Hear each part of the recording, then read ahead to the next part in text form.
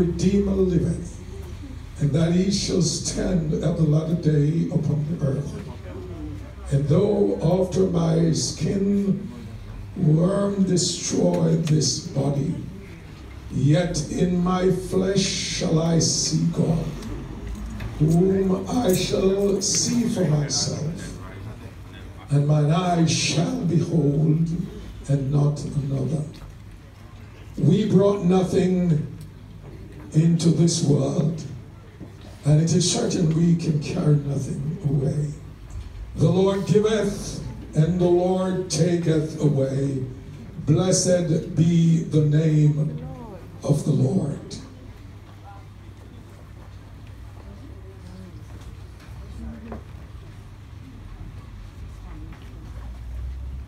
The Lord is my light and my salvation. Whom shall I fear? The Lord is the strength of my life. Of whom shall I be afraid? And the wicked, even mine enemies, my foes came upon me to eat up my flesh. They stumbled and.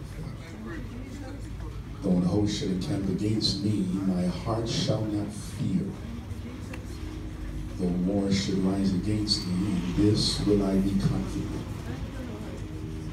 One thing have I desired the Lord, that will I seek after, that I may dwell in the house of the Lord all the days of my life, to behold the beauty of the Lord and to inquire in his temple. For in the time of trouble, he shall hide me in the secret tabernacle, he shall hide me set me up on a rock. Now shall my head be lifted up above my enemies. This is the day that the Lord has made. We will rejoice and we will be glad in it. For what manner of love the Father has bestowed upon us, we shall be called sons of God does not yet appear what we shall be, but we do know that when he shall appear, we shall be like him. For we shall see him as Heaven sounding sweeter.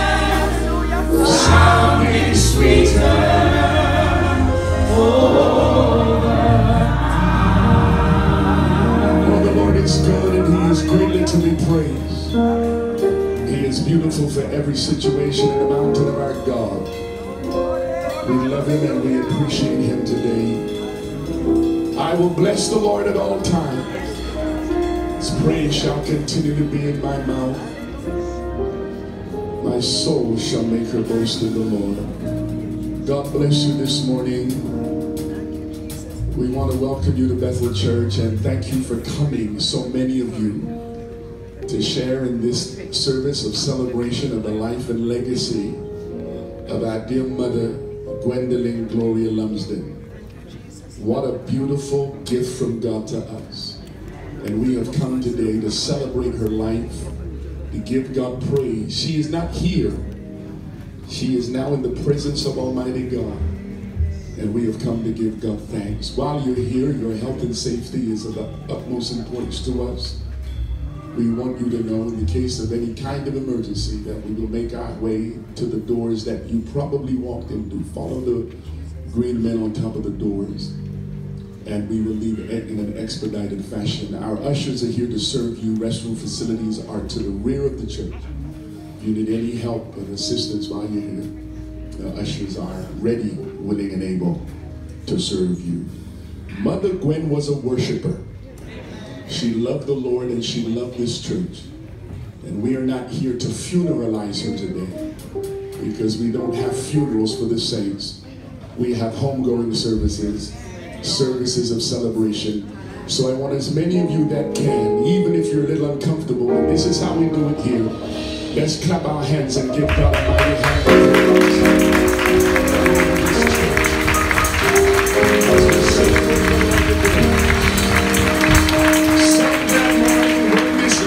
Is over, I'll fly away. January 5th, going through out of here and we're going to celebrate. Everybody knows this song, to sing and the as we celebrate today.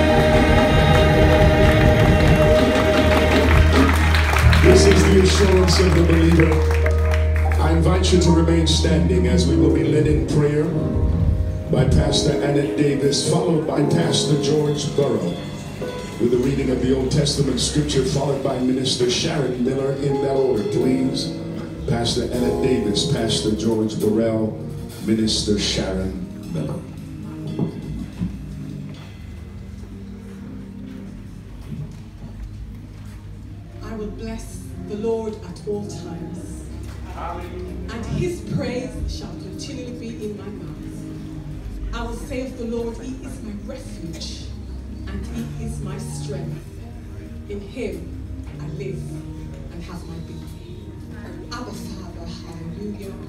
We glorify your name. We magnify your name. We exalt your name. We lift you on high because you are the sovereign God. You are the first, you are the last. You're the Alpha, you are the Omega. You are the beginning and you are the end. Your words declare, hallelujah, that those that mourn you will comfort. So, Father, in the name of Jesus, we pray in your name because you said it and we believe your word that the family, Lord God, that you'll comfort them, Lord God. They may be weak, they may be sad, but you promise that you give them strength, Lord God. You lift them on high. You lift them on eagle's wings, Lord God. Wrap your arm of love around them, Lord God. Speak peace, hallelujah, in the midst of their storm. Help them to, ru- to realize that you are the resurrection and you are the life. And they that die in you, Lord God, they shall live again. We pray for strength, Lord God. And because we stand in your word, we believe it done. We pray that you bless this service, Lord God. We know that your anointing and your presence will be here. Be with us, Lord God, as we say thank you. In Jesus' name. Amen.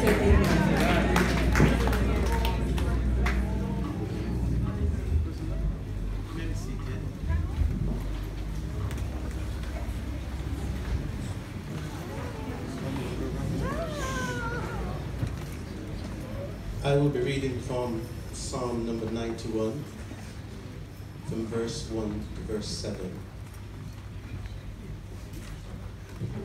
He that dwelleth in the secret place of the Most High shall abide under the shadow of the Almighty. I will say of the Lord, He is my refuge and my fortress. My God, in Him will I trust. Surely he shall deliver thee from the snares of the fowler and from the noisome pestilence. He shall cover thee with his feathers, and under his wings shalt thou trust. His truth shall be thy shield and buckler. Thou shalt not be afraid of the terror by night, nor the horror that flieth by day nor for the pestilence that walketh in darkness, nor for the destruction that wasteth at noonday. A thousand shall fall at thy side, and ten thousand at thy right hand, but it shall not come nigh thee. This is the word of the Lord, and it is blessed in Jesus' name.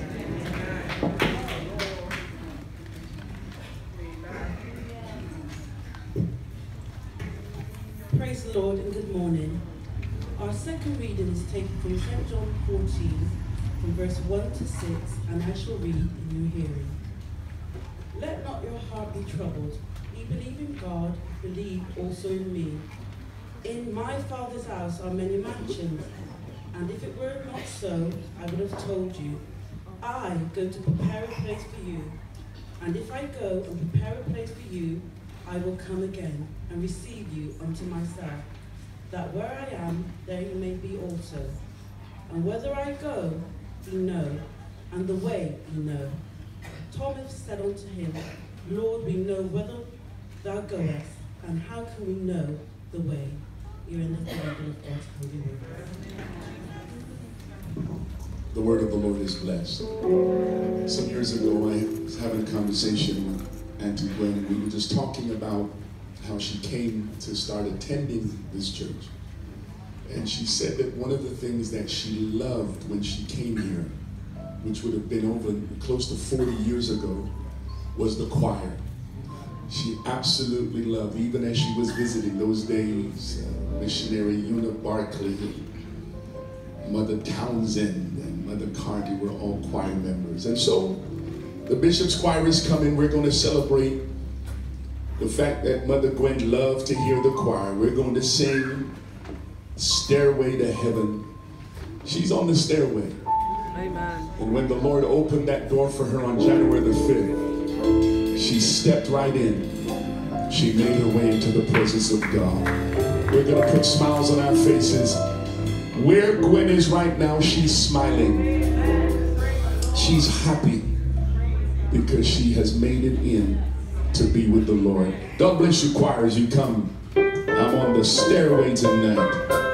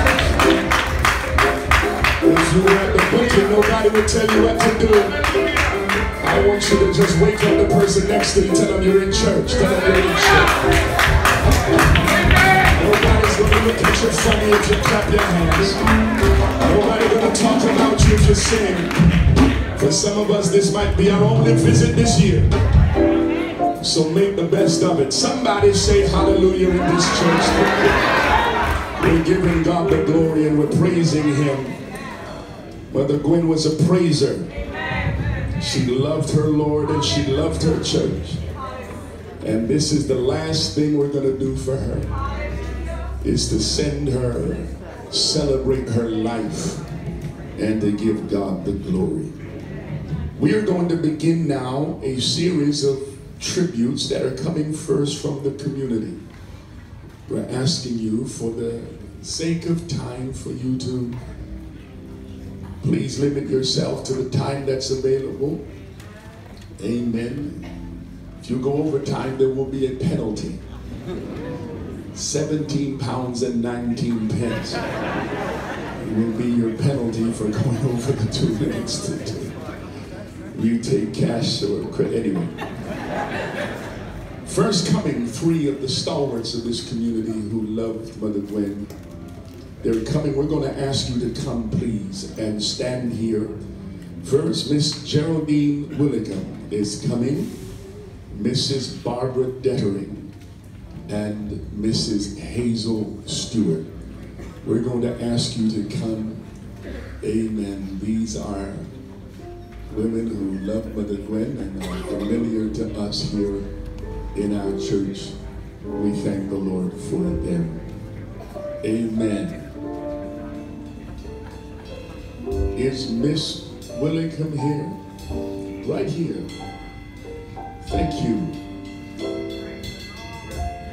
Hello, hi. Um, I'm not a great public speaker, so I'll just read something that I wrote.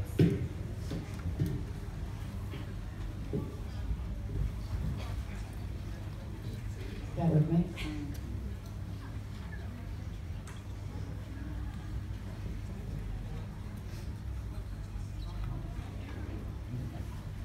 Thank you for the Um, months I stayed with you at number 7 Cottrell Road.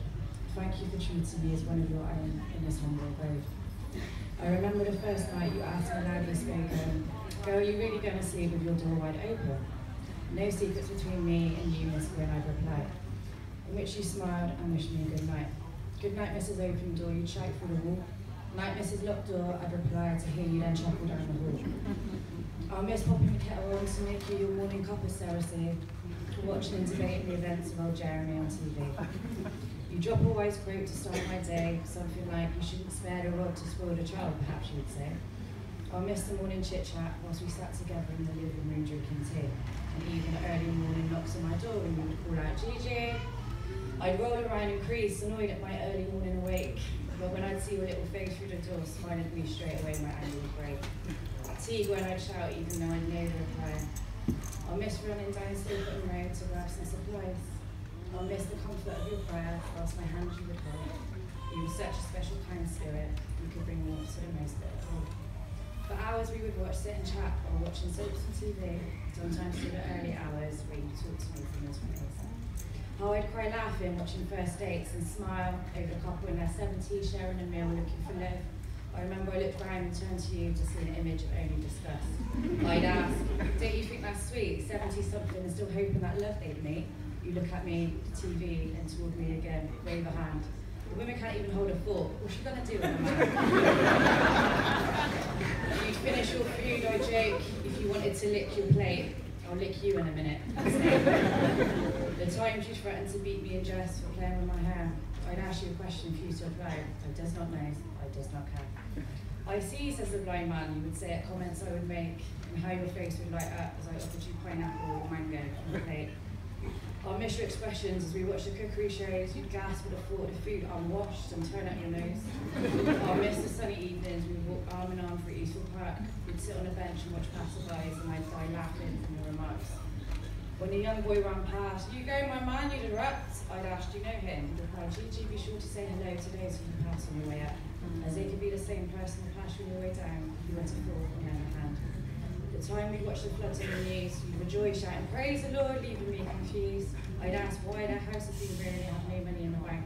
You'd laugh and say, My house is dry, and for this I must thanks. The first time I accompanied you to church, had to be the last. I went downstairs to put on my heels, only to gasp. It's when I've only got trainers with I believe it's the first day I go to church or service. Here, put these on as you pass me your shoes, which didn't go with my outfit, which made me a bit nervous. Your face when I showed you what I was wearing lit up so brightly, I thought, I'll take a hit and feeling comfortable, just as you smile so brightly. You go, girl, you'd cry out, just as we were about to leave. This energy and spirit, I'm just grateful I was lucky enough to receive. Mature in years and wiser than most, with a childlike spirit and heart of God. The food was tremendous, naughty but nice. The times I'd come home, I think, oh, daddy's ain't gonna be good for my thighs. From your mackerel, your barbecue wings, chicken soup, plantain in the morning. One thing for sure, Miss Graham certainly knew her way around the kitchen. I'll miss our trips on Seaport Road, on the 24, or even Tesco's, bickering down the aisle over whether you really needed half of what you chose. I miss you already and I'll miss you more, of that I'm sure. However, I'm grateful for the memories for those that I've done. I can no longer listen to the song Moonlight Ravens without thinking of you. These times we had, we had, I hold so dear, the laughs we had, I thought it's here. Well, the Jay Jakes that I was Mrs. April door and you Mrs. Lot, it was time for a lot to be lifted and for you to go. The rate above is a place for you to rest.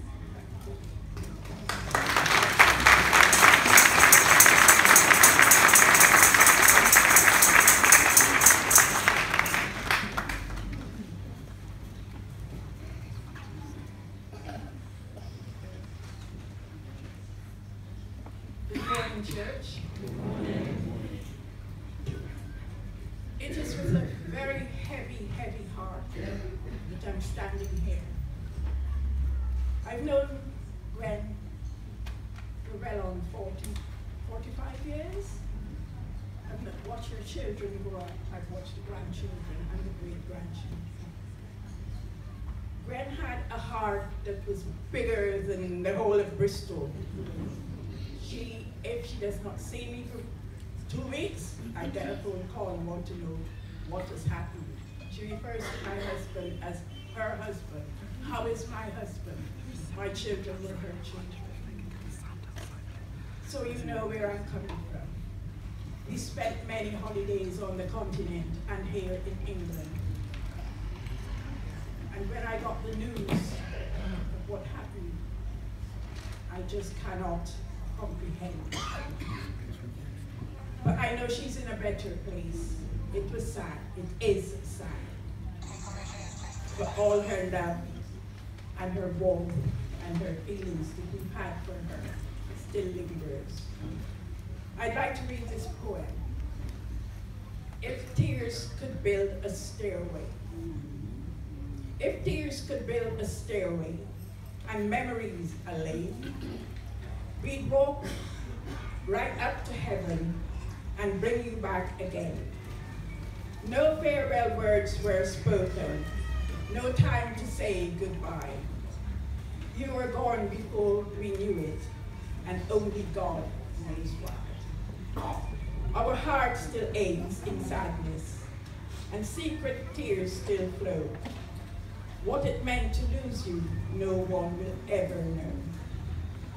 But now we know you will want us to mourn for you, to mourn for you no more, but to remember all the happy times, and life still has much more in store.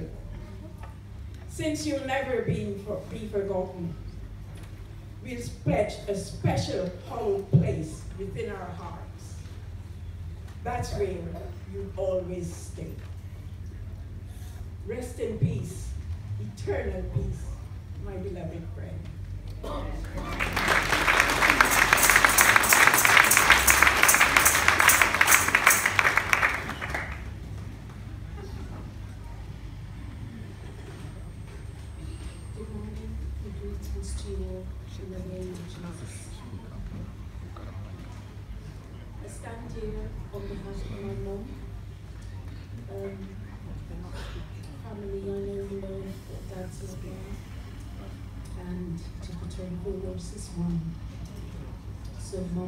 Stay at home with him. But I'm here. My family's here because we have to be here. I'm reading this on behalf of my mom. Gwendoline Lumsden. I called her my sister. I met her back in the early 1970s. The late Daphne Daniels introduced us, and from then on, our friendship grew stronger and stronger.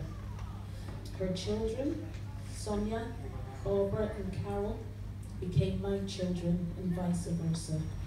They slept at my house, and we slept at their house when necessary. We lived as one family.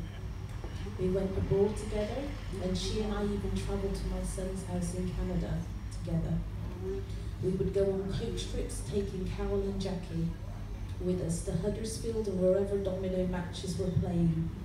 After the men finished playing, then the dancing would start. She was so funny. She loved to laugh and enjoyed making everyone around her laugh.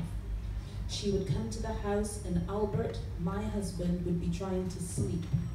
But she would walk in the house and lovingly play with his beard and say out loud, Albert, wake up, me daya.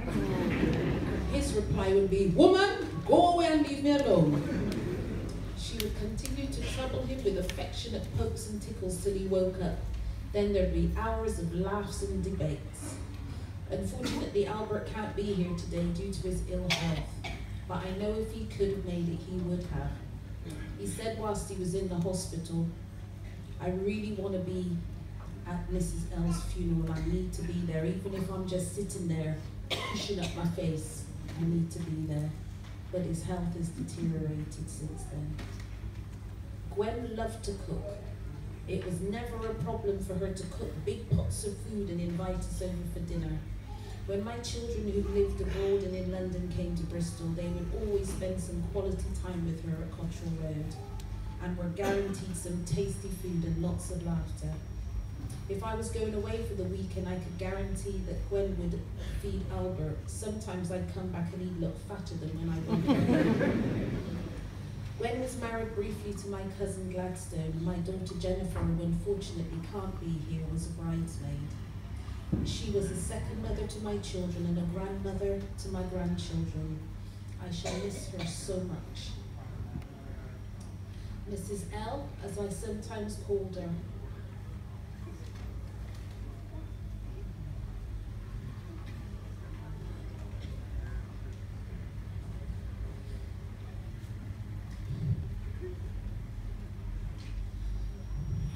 would often pop across to my house and if I wasn't there, I'd find a dead leaf or a twig pushed through the letterbox inside to say she'd been. I don't know how I'm going to cope over the coming months. Late at night, every night we would call one another.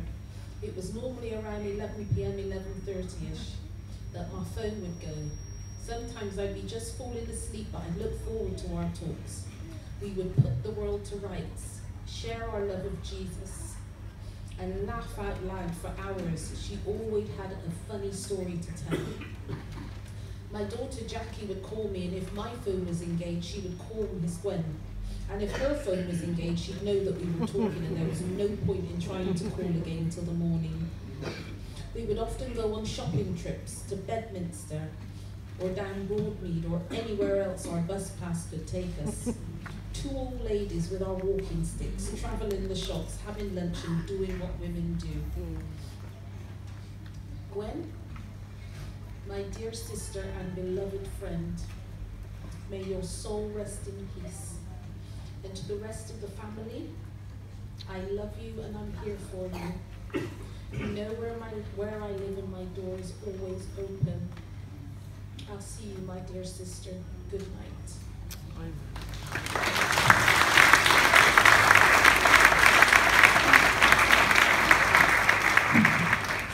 Thank you so much. It is often in these moments that sometimes you're in these occasions and you're trying to find good things to say. But for this woman, it's not hard. She was indeed that good soul that beautiful spirit that we loved. And we thank you for those tributes, and more will come. We are blessed today to have pastors who have taken time to be with us. Some were here on Wednesday night for the uh, service of memory, and we're delighted that they were here then and able to share. I'm going to call at this time uh, Overseer Lance Dennell, who serves as the overseer for the churches here in the Southwestern District, which Mother Gwen was an active member and part of, followed by Bishop Raymond Vieira, pastor of the House of Prayer Church here, amen, in Bristol. And then we're going to ask um, Pastor Greg Davis to come in that order, please. Overseer Lance Dennell, Bishop Ray Vieira, Pastor Greg Davis.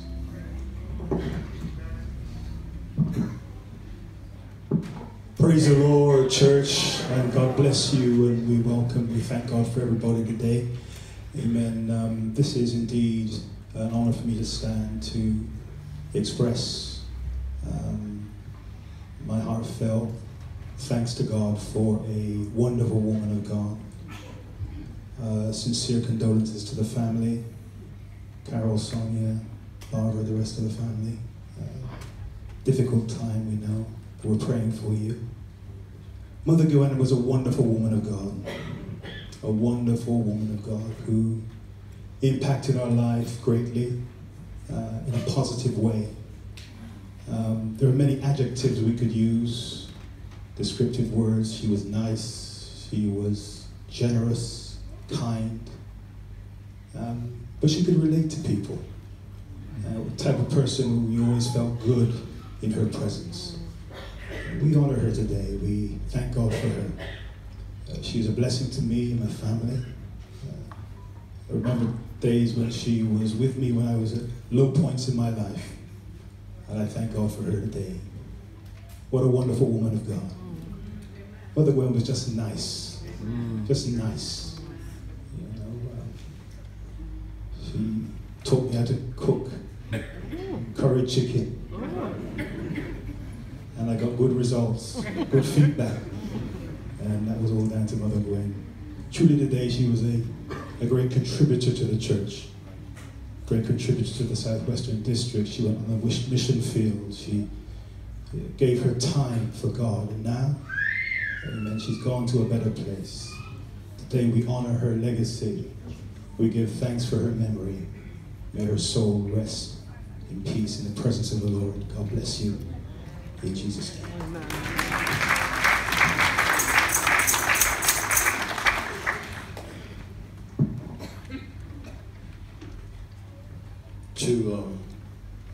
Dexter, bishops and ministers, and indeed the bereaved family. Um, I greet you in the name of our Lord and Savior Jesus Christ. Please accept my deepest and sincere condolences at the loss of a great woman of God. But I want to leave you with a, a thought today. The scripture tells us in 1 Corinthians 15 So when this corruptible shall have put on incorruption, and this mortal shall have put on im- immortality, then shall be brought to pass the saying that is written Death is swallowed up in victory. O death, where is thy sting? O grave, where is thy victory? As a believer in Christ, we know that death is not the end. The Bible says she's asleep, mother is asleep. And if you sleep, you will one day wake up. But we will wake up in glory. Amen? The Bible says we're not people without hope. But we celebrate the life of our dear mother. And I pray that the family will understand that though it's difficult, she is with the Lord her Savior. And take comfort in that, that we've not lost her, but she's just waiting for us. The Bible says, And when the trump of God shall sound, and the dead in Christ shall rise, this mortal shall have put on immortality. We shall be transformed. So may God bless you, may God cover you with his love, and strengthen you in this very difficult time. Blessings.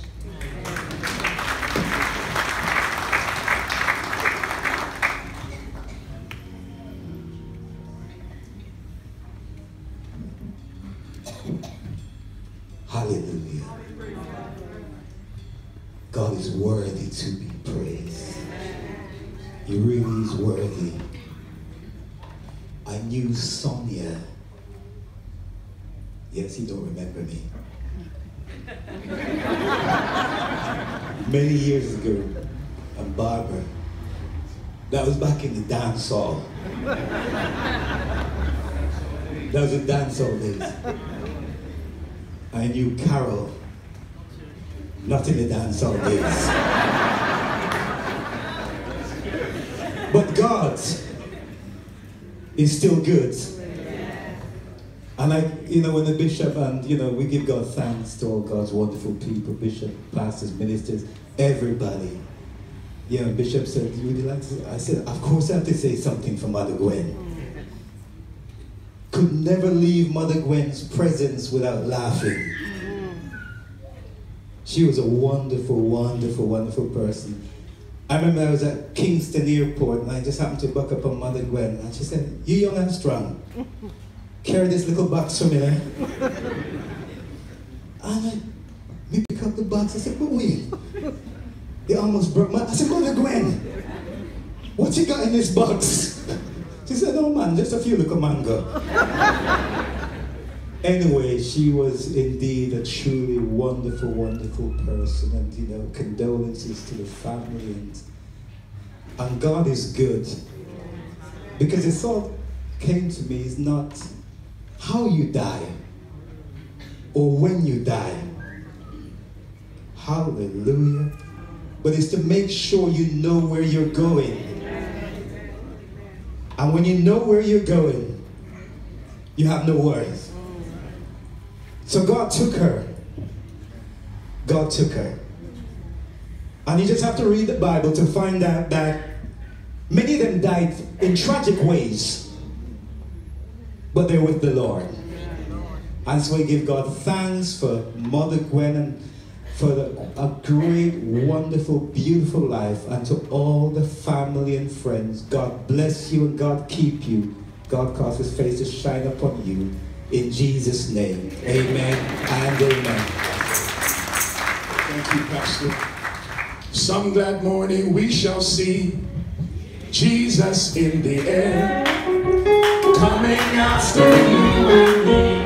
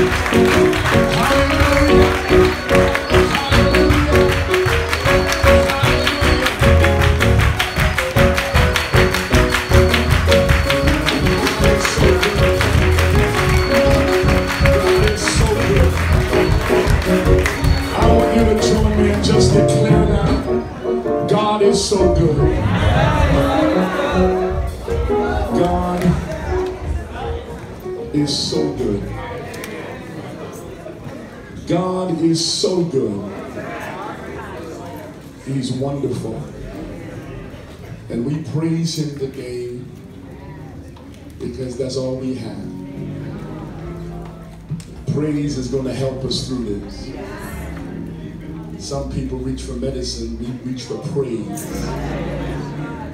So the psalmist David said, I will bless the Lord. I will bless the Lord at all times. His praise shall continue to be in my mouth. What a joy. What a joy. I feel the praise right here in this room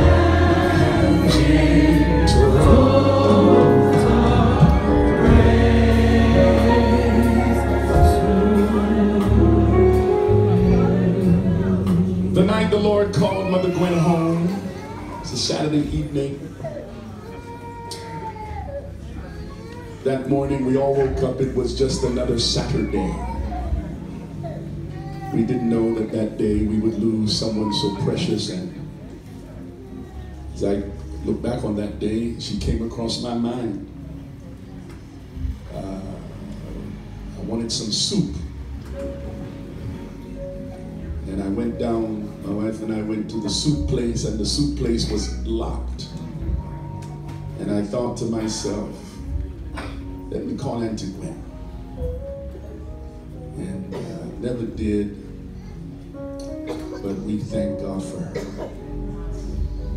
one of the last people she spoke with before she left here was Minister Neville Levy, chairman of our board here at Bethel Church. He is coming at this time, followed by tributes by the grandchildren. And we're going to ask those of you that will be making those presentations to come forward at this time. Minister Neville Levy, followed by tributes from the grandchildren. And.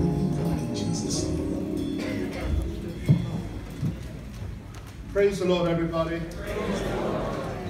And greetings to one and all. Thanking you all for being here today. Giving God thanks because I'm one of those privileged ones who knew this wonderful lady, right? And I do count this a privilege. Thanking God for the precious moments and the times that I was able to spend with mom. Many people would know that she called me her son. And nobody could dispute that. When we were out on the streets and anybody that we came across that we met, this is my son. And she was so, so proud to introduce me as her son. And it really was a privilege and an honor to be able to be called her son. And I'm just so glad to have her as my second mother. I've known her mum and um, the family for a long time. It's not just us, she, when she came to church. We actually lived on the same street, on Walton Street. And you, the family, we lost touch, but you know, we all we got back together again through church and through mum. And you know, there is there, there's just so too much to talk about. There really is.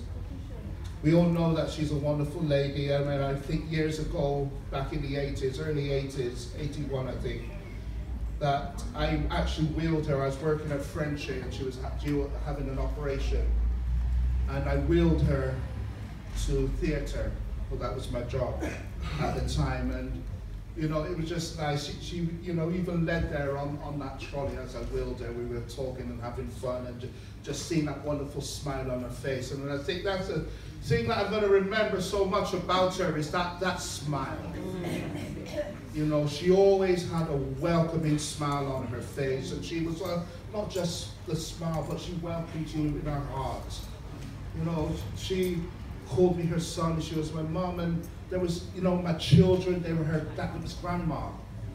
You know, it was, there was no barriers. We were, in, we were engrafted in to the family.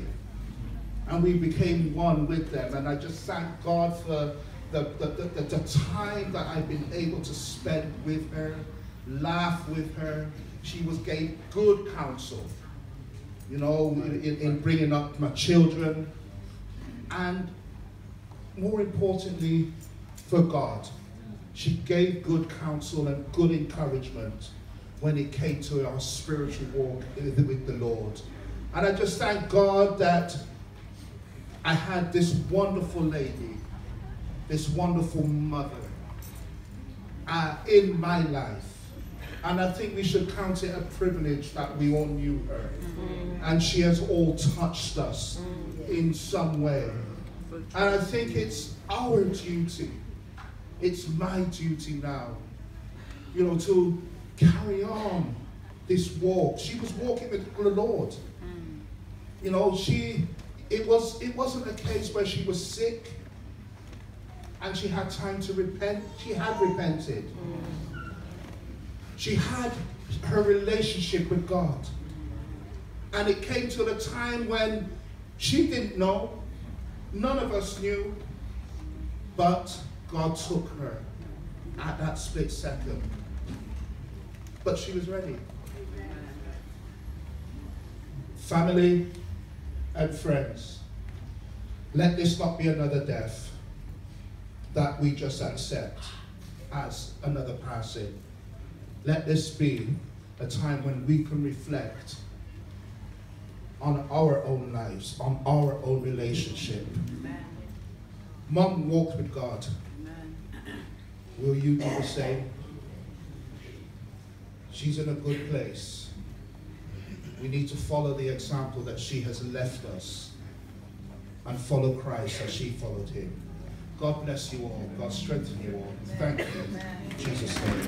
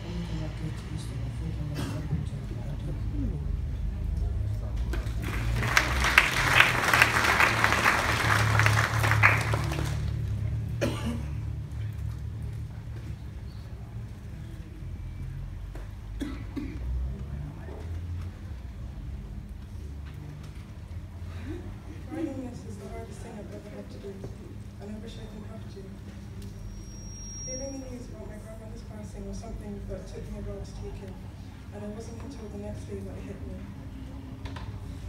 My name is a peaceful person inside love.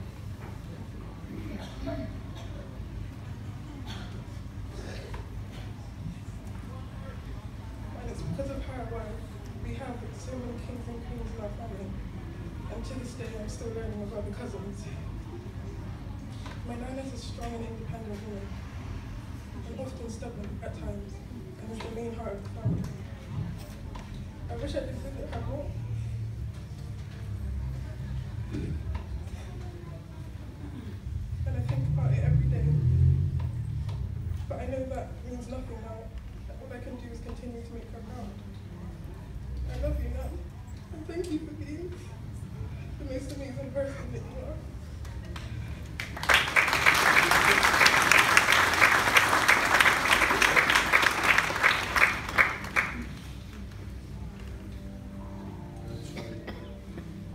Good morning, church. Good morning. Um, on behalf of my cousins and my family, I'd like to thank everybody that's here today and everyone who's come to the house and just shown us loads of love and support. Um, it wouldn't have been, we wouldn't have been able to get through this without all of you. Um, so, I just want to say that a lot of anybody who knows me knows that me my are close. She loved all of her grandchildren, whether she saw them or not. She still pick up the phone, even if she know you're not to answer. She leave a message, and even now when I go home, if the answer machine is flashing, it just my heart skips a beat.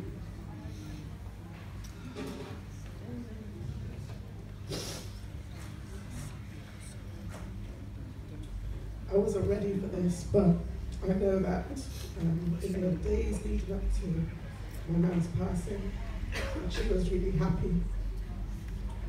I feel, that it's important for people to know that because she was a really happy person, a really happy soul. My earliest memories of her is um, she always walked with something for you. Whether it was a plantain, a cake, a bun, a dumpling, whatever it was, she always walked from the time I'm little till now.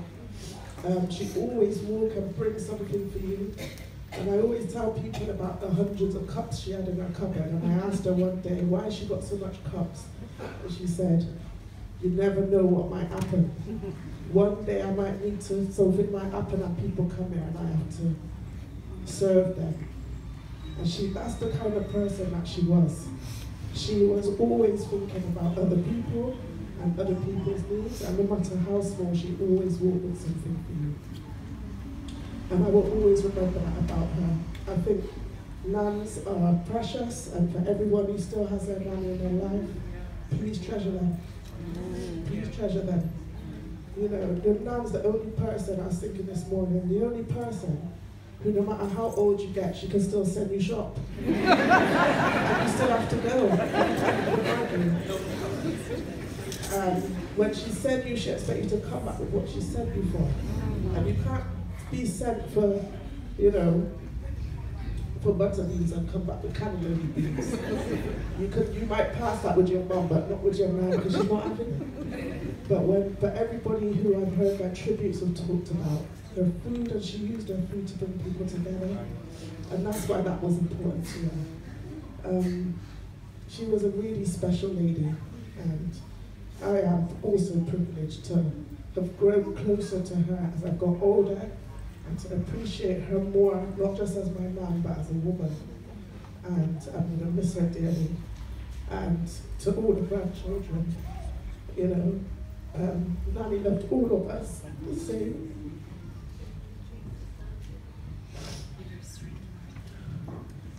So thank you, everyone.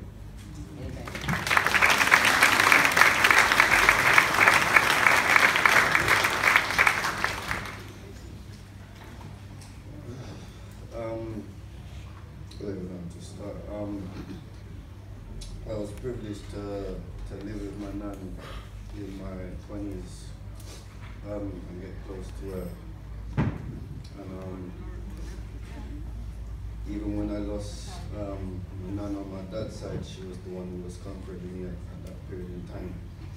But anytime I felt low or anything, Nan used to always tell me, you have to understand that there's always good, better, best.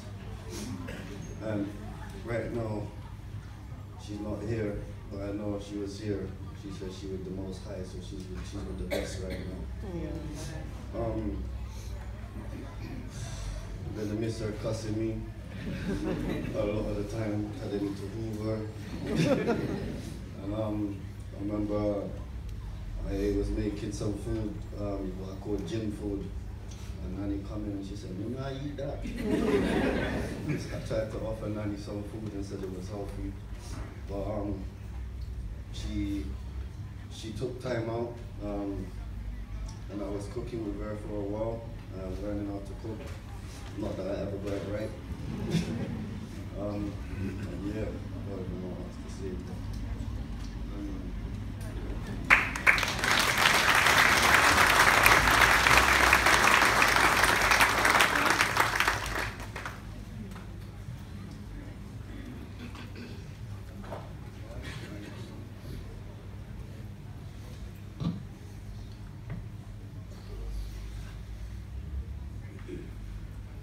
like to say thank you all for coming today.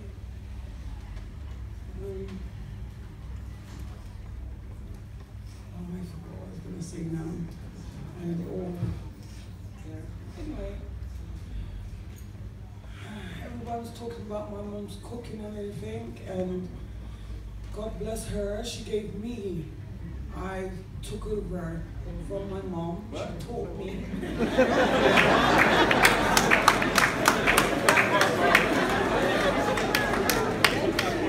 so that means everybody make an appointment. um, I love mom so much, so, so much. And I just pray, I, well, I've been starting to go to church for the last eight months. And um, just before mom passed, um, I explained to her that I've now started to go to church. She wasn't very happy at first because I told her it was not Bethel Church.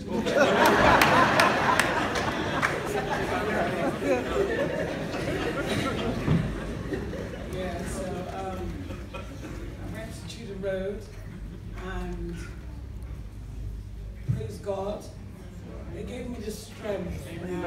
My mom, identify her, I love her so much. And I'm, I know a lot of people's like, oh, your mom's, you know, you're the one she's worried about, you're the one she's worried about. But God, she's gave me the strength. I don't know how I done it. You know, I really don't know how I done it. But I will carry on going on with the church. Yeah. I know it's not their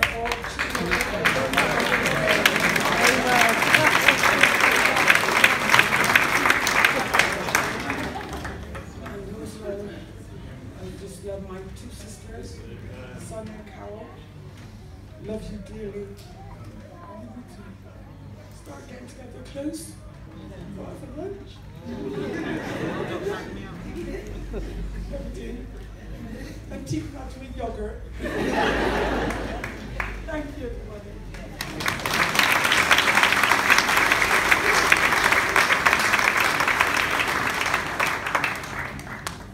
Praise the Lord, everyone. Praise the Lord. Praise the Lord.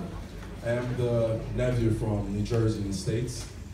Um, I couldn't sit there and not say anything. That's right. Um, Auntie Gwen never liked to fly, but she surely made it down to my wedding.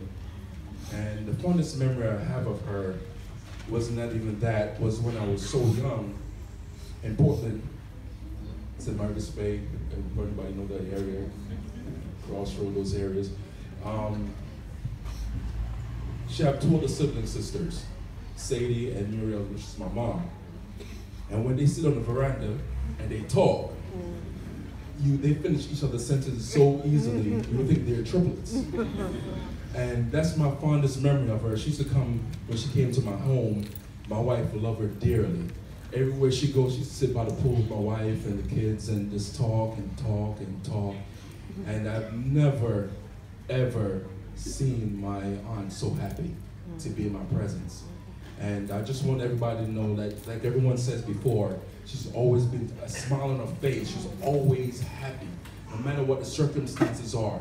If it's something that is so down, she's praying you up. Mm-hmm. So I just want everybody to know, it doesn't matter what you face. It doesn't matter what you see. Prayer. She left that with us. The foundation is prayer. No matter what, don't let your eyes fool you. Prayer is the key that she left with us. Amen. So I said those are- those are-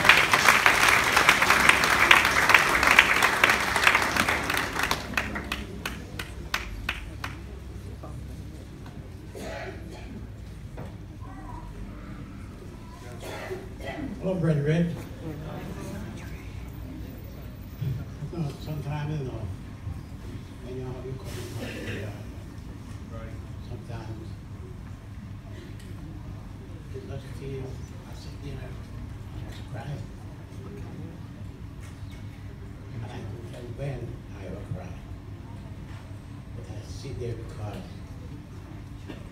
you know, brings so much laughter, joke like a comedian. I'm so proud to be here. So much gathering. It's another. See, I, I write out much from you, but I would like to read it because I don't know if I'm going to cry. Good afternoon, everyone. Thank you all so much. You know, looking around, this place is so crowded. and you can know that my Auntie was loved. And I thank you all. Maybe you might have travelled for a very long distance to get here, but you know what? She was worth it. Now, regardless of that being 92 years old, you know, it doesn't look it, does it? No.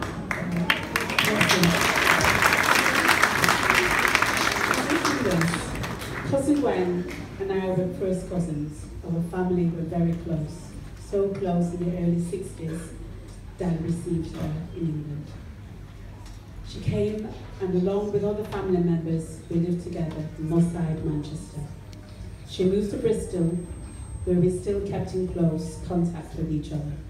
Over the years, we visited each other and attended family gatherings like weddings, birthday celebrations, and funerals.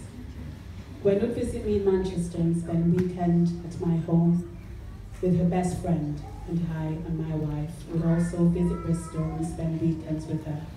They just show how much how very close we were.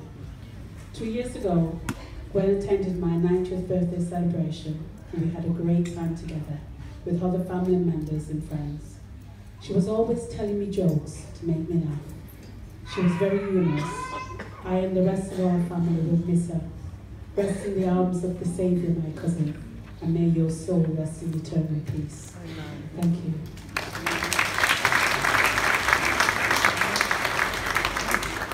One thing when I against love song. Sing all the while. Anywhere it goes, we just sing. And the chorus used to sing. One, one time in the forward church. And the minister asked if I want to sing it, but you never hear me sing before. And the song, the song I sing said, I am blessed. I am blessed. I am blessed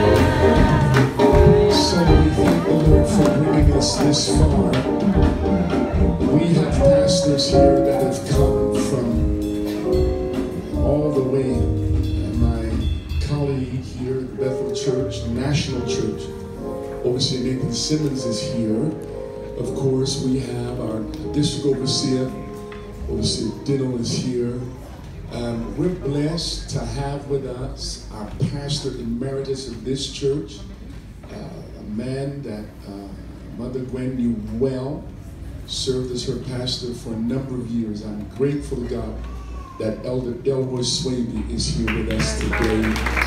Thank God for you, Pastor Davis, Pastor Walker, Pastor, all of these wonderful people, amen, that are here. Mother Gloria Brooks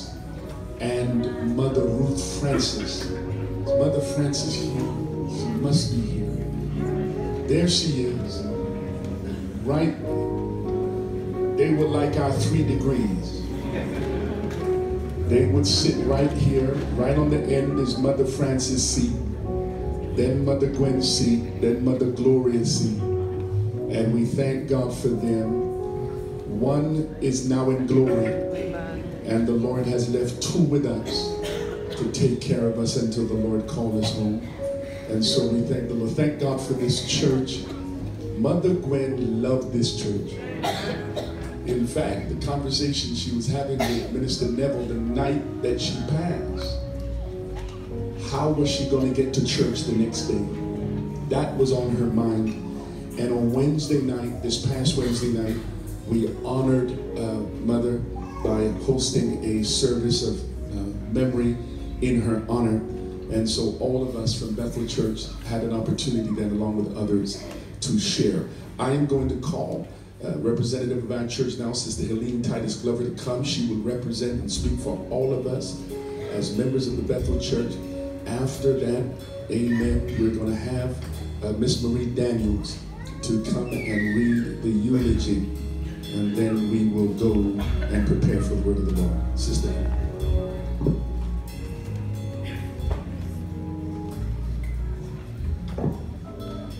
Mummy Gwen, Gwen, Goddy Gwen, and Auntie Gwen are some of the names we called her. Auntie Gwen was a surrogate grandmother to some and a spiritual mother to others.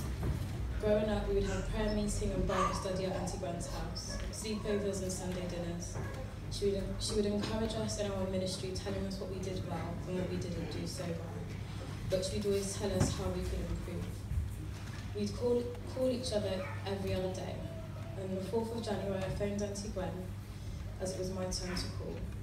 We were talking about our day and we were making arrangements for her to come round for dinner. There are times I still pick up the phone to call her and forget that I can no longer do that. My heart hurts, but I know she's in a better place. May her soul rest in eternal peace. Good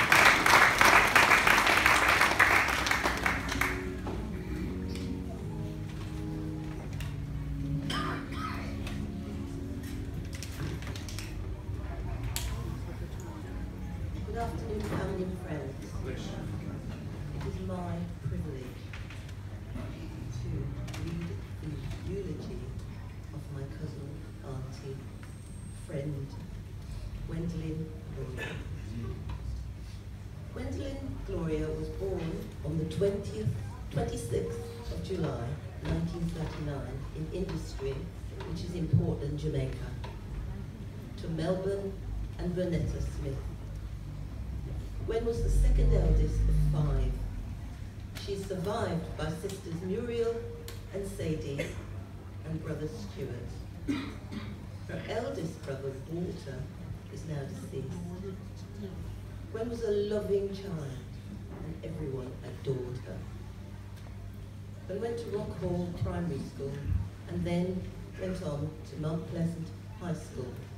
After graduating from high school, Gwen went to seamstress school, seamstress school to become a dressmaker. Gwen's father wanted a better life for her, so he sent her to her eldest cousin in England, Radford.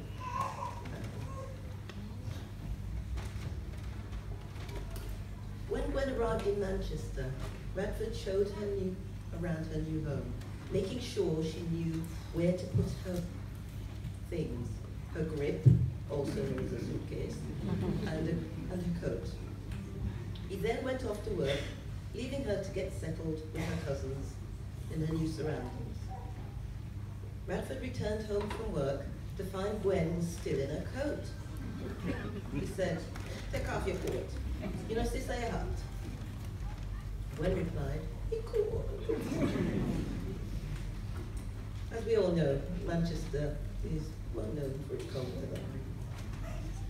Gwen went straight off into work at the Walls factory and was known as a hard worker. Gwen was very family orientated. She had a young family of her own, four children, Raymond, Sonia, Barbara, and Carol. Gwen had a close bond with her cousin, my dad, Renford, and his wife Daphne. Even though she enjoyed life in Manchester, she was persuaded by her cousin Renford to make a fresh start in Bristol. But moved her young family to St Paul's, Bristol, and got a job at the Silverway petrol station at Sussex Place. She then went to work later on for National Express as a sales rep at the bus station. She was a very ambitious and tenacious woman, and eventually she bought her own home in Eastbourne. Gwen always remained close with her family, here and abroad. She had an open door policy with everyone, and her gift was hospitality, providing a welcome, food, and comfort when you came to her home. Gwen and her daughter Carol were settled, were, were invited to Bethel Church. She felt at home immediately, and she was baptized soon after. Gwen was a loyal and active member within the church. She was a mentor to the younger generation who was seen as a wise and powerful prayer warrior within the church family. Gwen would always help anyone in need, inside or outside of the family. She brought her granddaughter, Bevine, and her niece, Dawn, to live with her. Her love knew no bounds. Gwen leaves behind her four children, 18 grandchildren, and 25 great-grandchildren. Nieces and nephews, cousins, and a million friends. Gwen's gift of hospitality, love, and her giving spirit will be carried on through the generations. Gwen was a truly remarkable woman. God rest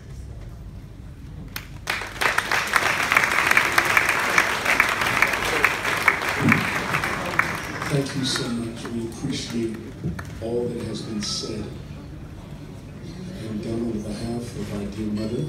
And we appreciate today your presence. We are blessed to have with us Bishop Stuart Smith. Bishop Smith is the presiding prelate of the Gospel Light Churches in Newark, New Jersey, and the brother of Mother Gwen. Now, of course, I knew Mother Gwen for, years, and when I was in the States, I went to preach at Gospel Light, only to find out that he was Mother Gwen's brother. And from that time, I have called him Uncle Stuart. And we're delighted that he's here, and I fully understand. I have afforded him the opportunity to speak, but he wants to just be here as her brother, and I absolutely appreciate that. And so he spoke briefly on Wednesday evening, and we're glad uh, that he's here. But there are tributes that have come from the Gospel Light Church, and I just want to read just a couple of Bishop Smith and family. Uh, the Gospel Light Church in Newark, New Jersey family would love to encourage you to cast all your cares on him because he careth for you. We are praying for you and your family during this difficult time. We pray that God's arms with comfort and encourage you to hold fast unto his unchanging hands. That comes from the Gospel Light Church in Newark, New Jersey. And there are a number of cards that have come from both here across the seas around the world, and of course, all that have come here today to celebrate. I mean, this church is full today. And uh, Mother Gwen was no bishop. This would be a great crowd for a bishop. Mm-hmm. She was not a pastor. This would be a great crowd for a pastor. What was she? A helper, an encourager, which shows you that position does not bring popularity.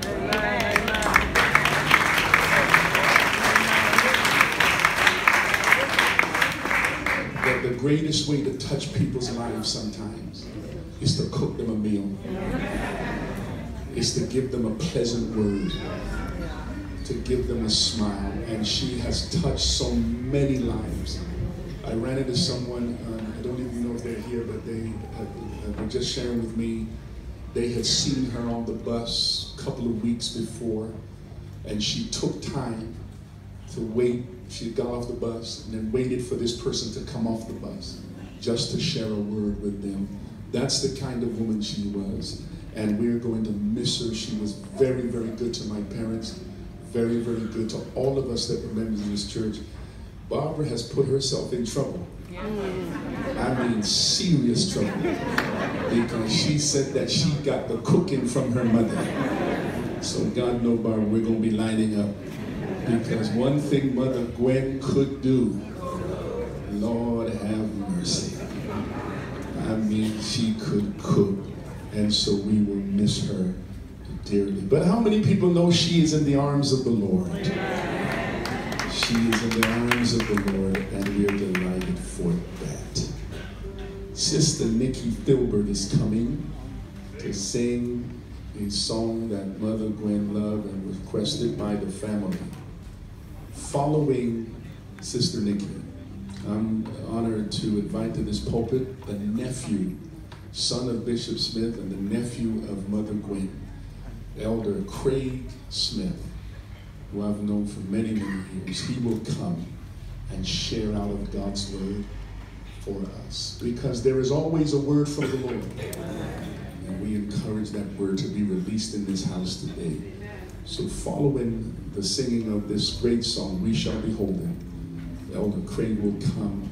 Amen. And we're preparing not long from now to join the family at the interment at Avonview Cemetery, which is, we are scheduled to be there at 1 o'clock. And so we're going to um, release you at that time, and we will make our way to Sister Nikki.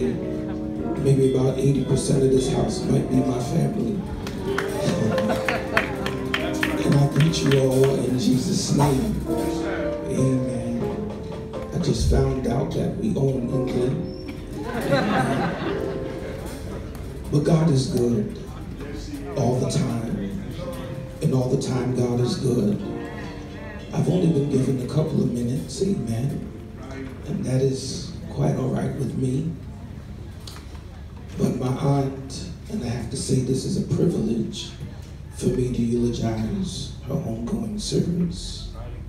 Amen. I've been here. This is my fourth time in England. Yes, I've been here at Bethel Church three times before. You may not remember me. I was the same height, just a little bit younger. Amen.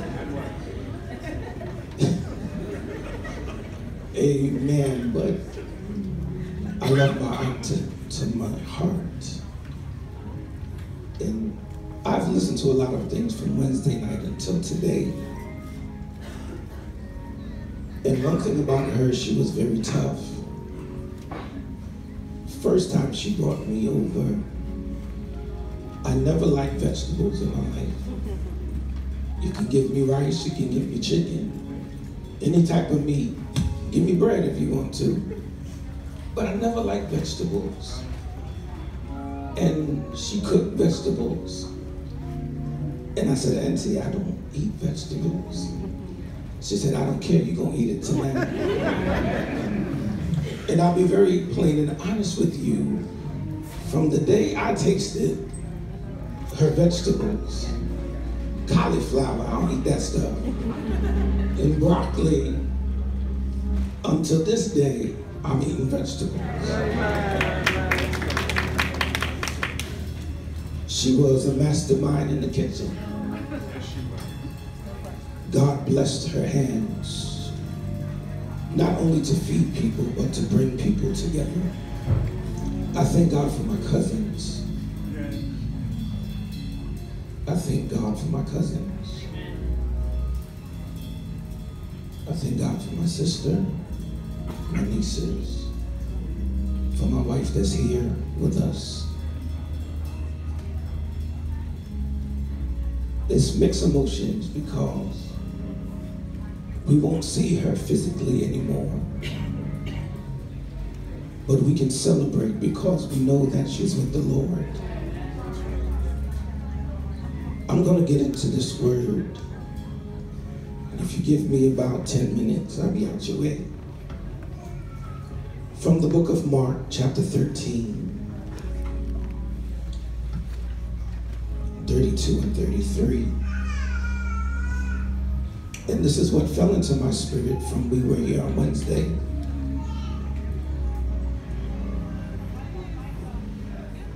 But of that day and that hour knoweth no man.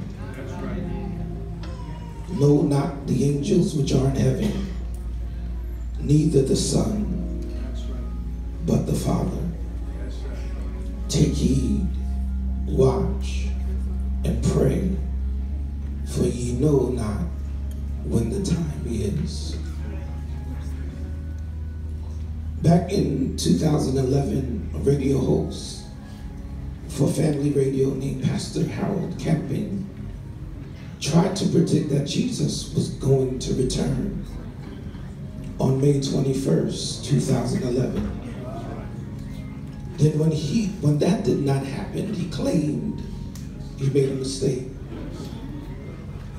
and said it was going to happen five months later. On October 21st, 2011. But he was wrong again. Much to my surprise in doing research, I found that he predicted the Lord's coming a couple of times before that. Back in 94, he predicted the Lord was coming. But the book of Matthew, chapter 25 and 13, tells us, Watch therefore, for ye know neither the day nor the hour wherein the Son of Man cometh.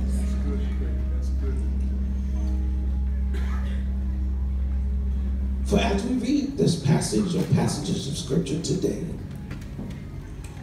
when Jesus said that even he did not know the time of the end, he was affirming his humanity.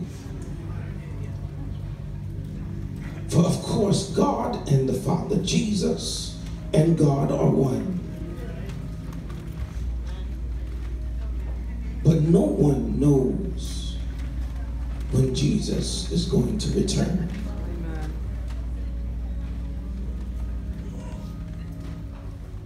He voluntarily gave up his unlimited use of his divine attributes.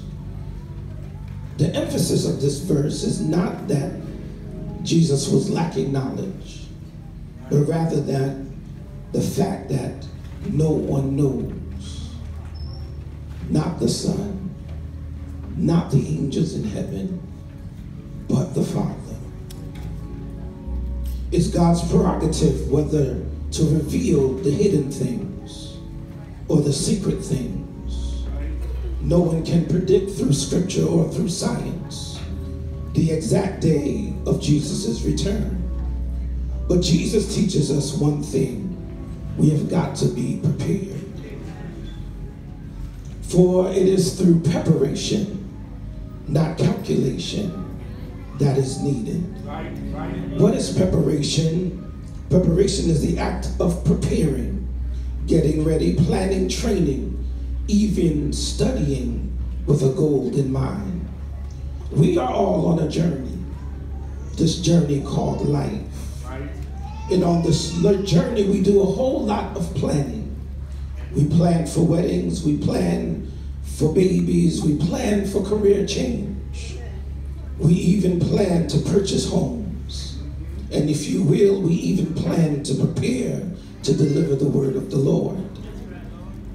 Most of the time, what we don't do much or put much effort in is planning for death. Planning for death. Now, if you will, for the next few minutes, I want to use for a subject, ready or not, here I come. Ready or not, here I come. Death is not a subject that we easily talk about. Seems one of the hardest things to conversate about. But the truth about death is it is permanent and it is imminent. So the scripture tells us no one knows, no man knows, not the angels in heaven. Mm-hmm. Jesus said, not even me, mm-hmm. but the Father. We have to understand it is his prerogative to download into us whether or not he wants us to know what he wants us to know. But the thing about God is he does not want us to know the day nor the hour.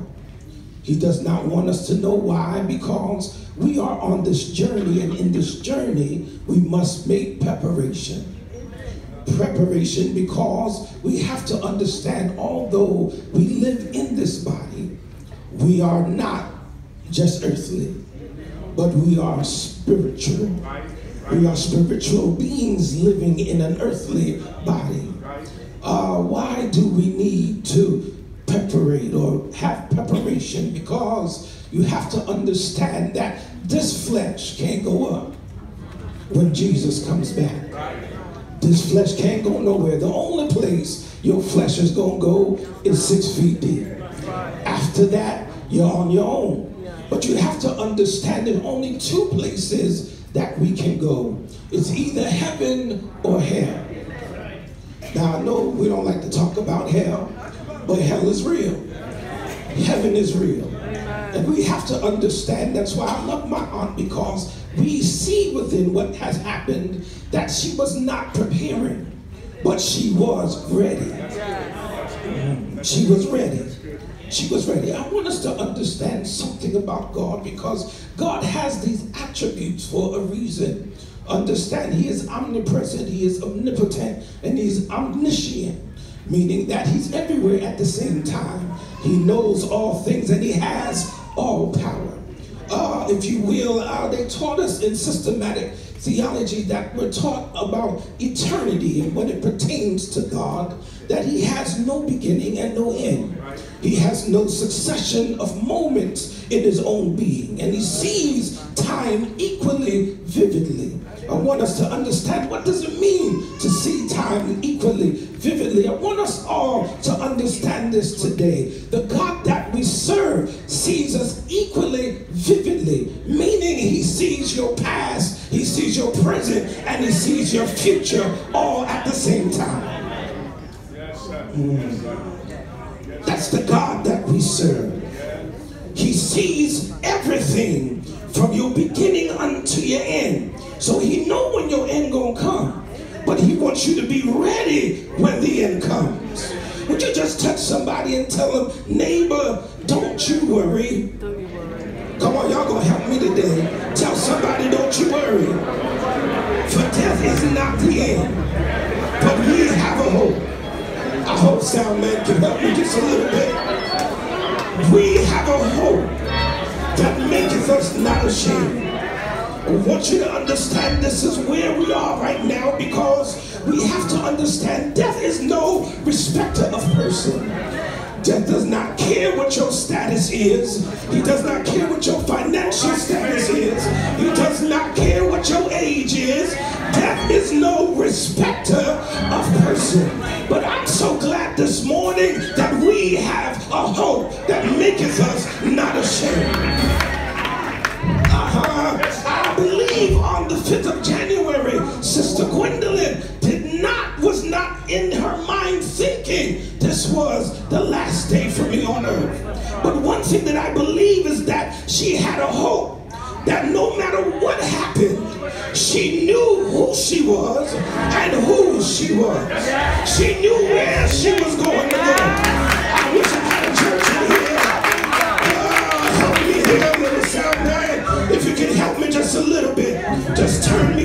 Voice ain't all that great, but just turn me up just a little bit. And I would like you to just turn to your neighbor real quick and say, neighbor, ready or not here, here we come. Ready or not here, he comes. You got to understand death is not going to come tell you when your time is coming. You got to understand nobody is going to tell you, you know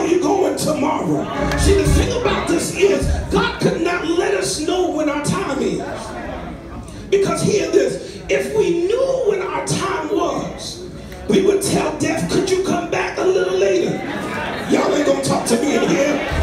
Could you come back a little later? I'm not ready yet. Uh, we got all kind of excuses that we can get there. I'm a little bit too young. I ain't ready to go yet. Some of y'all can contest. I got a little bit more partying to do. Oh, y'all ain't gonna talk. I'm gonna talk, I'm gonna talk the truth now.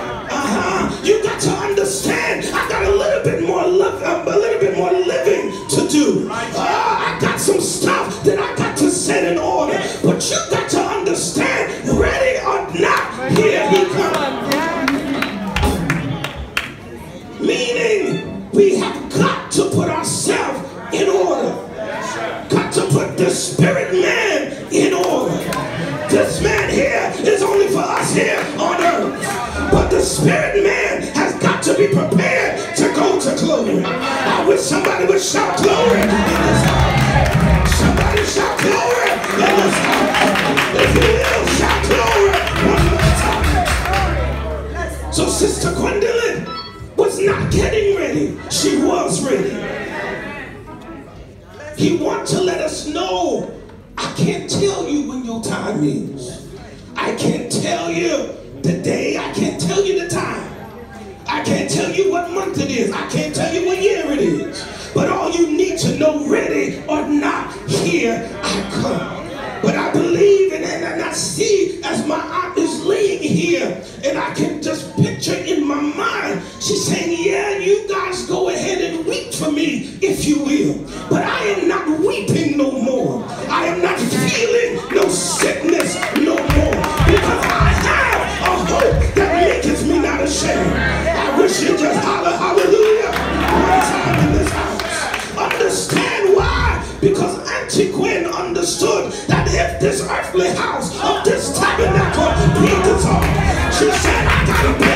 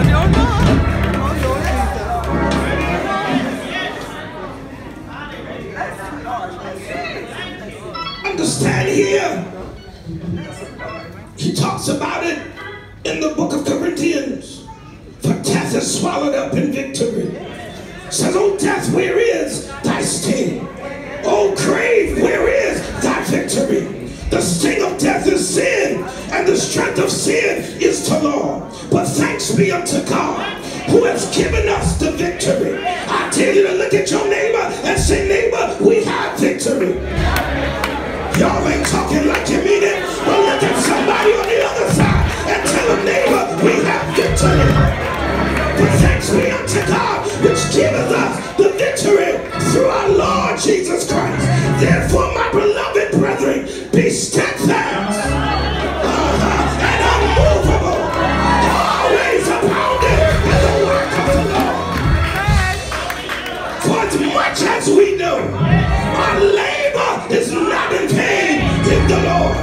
Dare somebody throw up your hands and shout glory. So as I draw this to a close, we must understand we prepare for everything in life. But it's time we start preparing for death. Because death don't care about your job. He don't care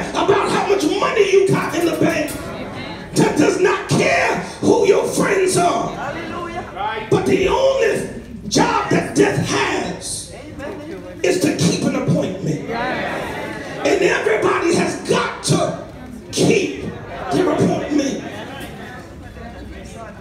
So he says to remind us today Yes, sir. that of that day and of that hour, no man, not the angels which are in heaven, neither the Son, but the Father. Take heed, watch and pray, for ye know not when the time is. Could you look at your neighbor one more time, real good, and say, neighbor, ready or not, here I come.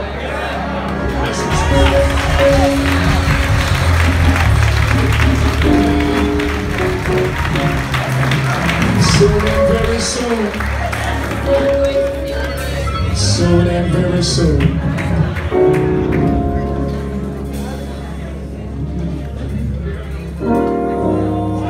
This moment, we're preparing to leave. But in this moment, under this word, everyone should doesn't know Jesus as your personal Savior. We're not going to have time to do an altar call. But right where you're sitting is your altar today. Right where you're standing is a place where you can meet the Lord. And so we thank God for this reminder. Ready or not? We don't know when He's coming, and we don't know when we're leaving. So we must be ready. Sing the wondrous love of Jesus. The funeral directors are coming. We're preparing now to escort the family to the Avonview Cemetery where we will lay to rest the remains of our dear mother. After that, the family will meet us at the Rose Green Cricket Club. Please, we're asking you. Thirdly, there will be a retiring offering that the ushers will be receiving on your way out. And we will use this offering to be a blessing, amen, to the charity that has been a blessing to people. Let's stand everywhere. And as we go, we can be blessed.